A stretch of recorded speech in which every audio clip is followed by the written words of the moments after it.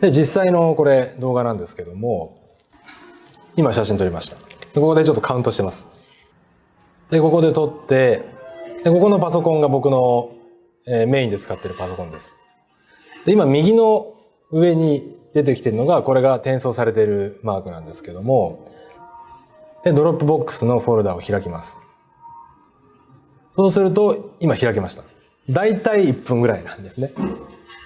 で、えーここ僕のパソコンで開けたわけなんですが、シェアサイドのパソコン。で、ここにスタッフがいます。でちょっと出してっていうと、同じ速度で当たり前ですが、ここのパソコンにはもう入ってますので、えー今撮った、1分前に撮った写真が、シェアサイドの PC で開けて、で、患者さんの前のモニターに行くということなんです。